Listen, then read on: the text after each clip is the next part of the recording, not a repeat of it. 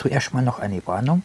Ich übernehme auf dem Kanal keine Haftung für Sach- oder Personenschäden, egal was ich da hier in den Videos zeige, das mache ich nur für mich.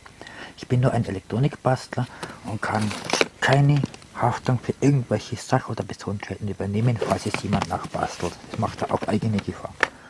Hi Leute, in dem Video geht es mal um Computermaus und zwar für diese Maus, da reagiert die Taste hier nicht mehr richtig. Ich habe schon versucht, die zu zerlegen, zu schmieren, wieder zusammenbauen, aber die reagiert nicht. Die da geht gerade noch, aber die reagiert nicht. Und da kann man ja auch andere Tasten einbauen. Die hat hier so einen Chip, dann hier so einen Chip, dann das sowas und so, also alles mögliche.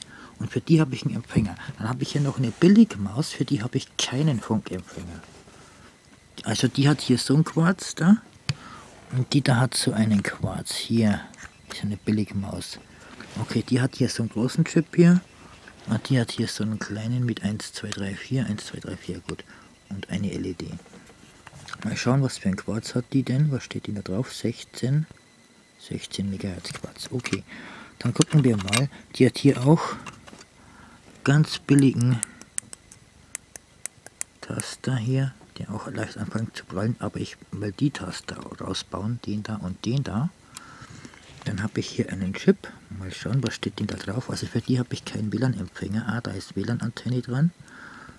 Da steht drauf T, ups, TLSR8516EP16 CH1822 CK2TOU.1, genau. Dann hier, das ist der Kamerachip, denke ich. Und ansonsten ist da nicht viel drin. Das hier ist WLAN-Antenne, die hängt direkt an den Chip hin dran. Ohne Filter, ohne alles und so.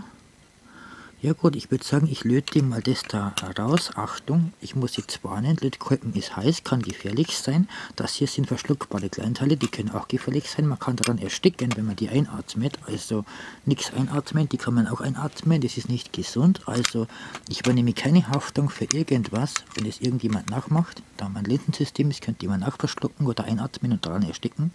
Es könnte jemand auch sich ins Herz rammen und dann sterben. Also es ist gefährlich, bitte nicht nachmachen. Und wenn es irgendjemand verbundenerweise nachmacht, ich übernehme keine Haftung dafür, was auch immer mit dem passiert, es ist alles auf eigene Gefahr, wenn es jemand nachmacht. So, ich löte mal die beiden aus. So, jetzt habe ich die anderen zwei Taster eingelötet in diese Maus, die ist von der anderen Maus und die passen sogar rein. Die hat hier drei Lötpunkte und hier auch drei. Ich habe ein bisschen unsauber gelötet. Man könnte es noch sauber machen, aber es sollte schon passen werde ich das noch ein bisschen sauber machen und dann wieder zusammenschrauben, würde ich sagen. So, nachdem die Maus zusammen ist, funktioniert sie wieder. Die reagiert auch hier wieder schön. Und hier, ja, funktioniert wieder. Schöne Funkmaus, kabellose Funkmaus mit neuen Tastern. Einfach die Taster getauscht. Durch Taster von irgendeiner ganz billigen Maus. Das ist eine ganz, ganz billige Maus, wo ich Taster eingebaut habe. Die hat, glaube ich, nur 3 Euro gekostet. Und dafür habe ich die teurere Maus, die hier mit dem Sensor besser reagiert. Achtung, da darf man nicht reingucken. Da können unsichtbare Infrarotstrahlen rauskommen. Oder Infrarotlaser unsichtbar.